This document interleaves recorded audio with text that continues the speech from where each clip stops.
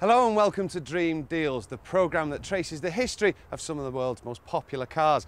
Now this week we're in Essex to see why one manufacturer in particular has been able to over the years build not only some of the world's best selling cars but also some of the most desirable.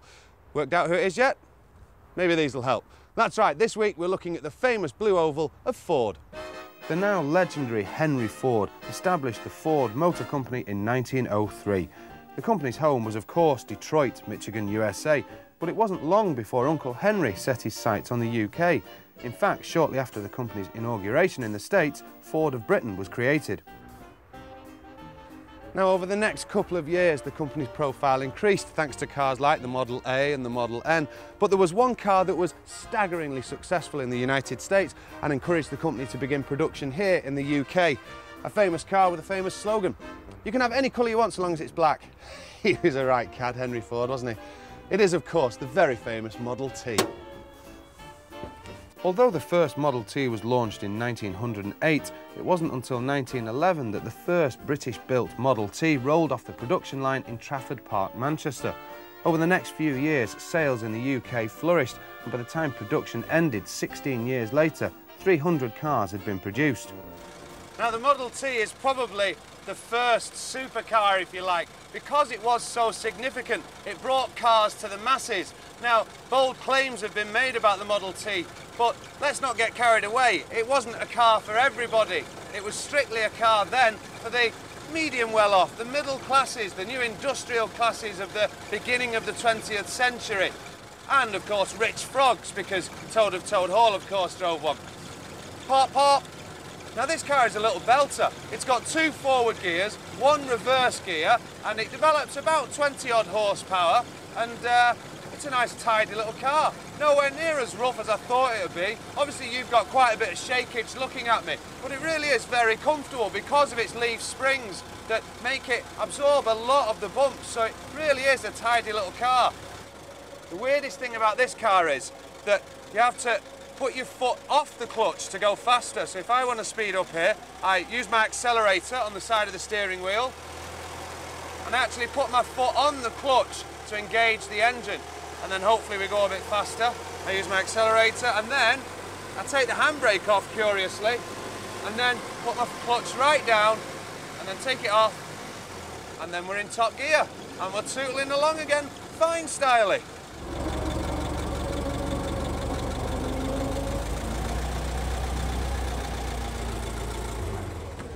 Now, unlike modern cars, the Model T of 1925 was largely the same as the Model T of 1909. It had the same four-cylinder engine, the same straight-sided frame, and the same three-point leaf springs. The only difference was the way it was made.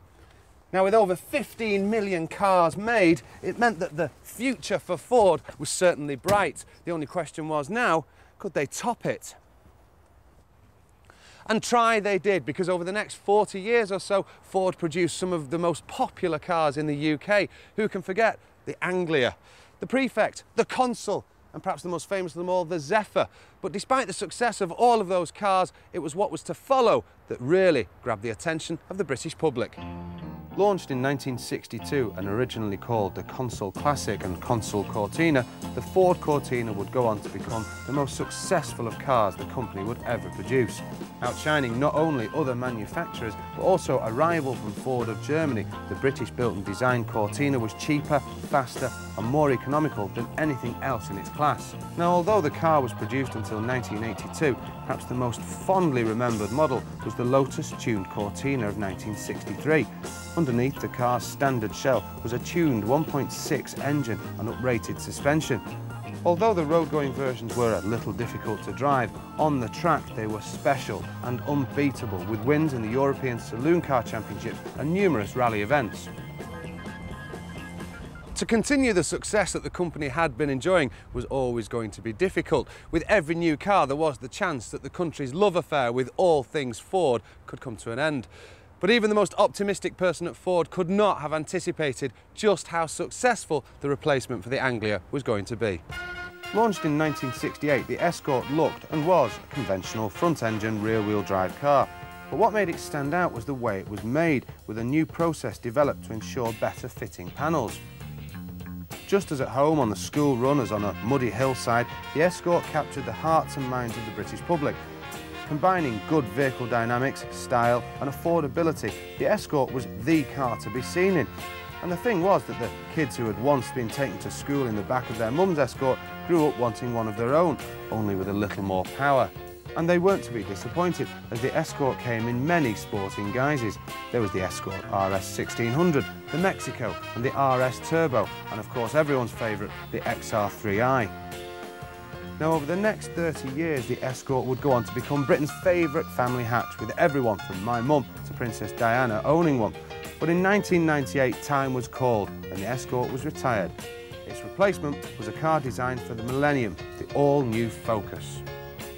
Now, whilst we're on the subject of icons, we couldn't possibly let the 70s go by without mentioning the one car that made them worthwhile. But before I reveal it, does this ring any bells? Believe in me, mate, I was born tall, dark and beautiful. And engagingly modest, of course. The professionals! Bodie, Doyle, what do you mean you don't remember? Rolling across bonnets. Well, if you don't remember it, you'll remember this. Launched in 1969, the Capri was hailed as the car you always promised yourself. With its long bonnet and 2 plus 2 styling, the Capri was the Mustang of Europe. But although the styling was all new, the car's underpinnings relied on the Cortina. At launch, it was available with a wide range of engines and specifications, but it was the high-performance models that got all the attention and they didn't get much more powerful than this, the Capri 280 Brooklands. Underneath its now longer and softer looking body was a 2.8 litre V6 engine, generating 160 brake horsepower. Performance, as a result, was impressive. 0 to 60 dispatched in under 8 seconds and a top speed of 127 miles per hour. Now, when the Brooklands first came out, I was just a lanky, spotty 16-year-old with pictures of cars like this on my wall. But now, oh, how things have changed. Now I get paid to drive them on tracks like this for free.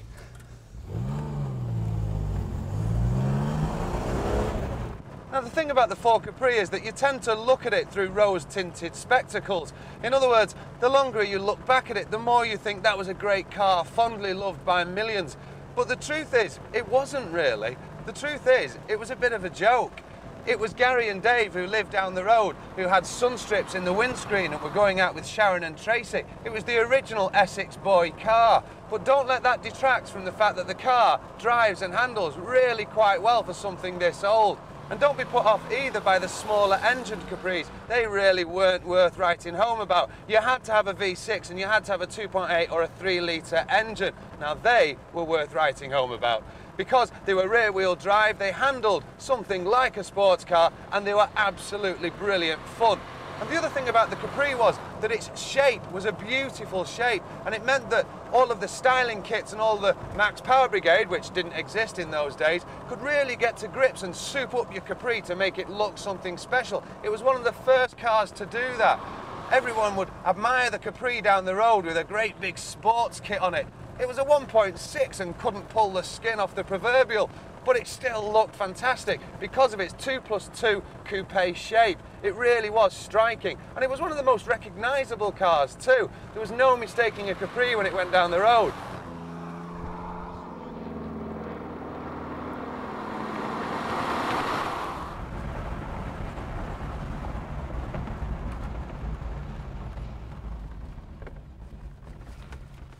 Now, sadly, the Capri ceased to be in 1986, but not before 1.9 million cars had been made and sold across the world. Years later, Ford tried to recreate that Capri magic with other coupes like the Probe and the Cougar, but ultimately, it failed.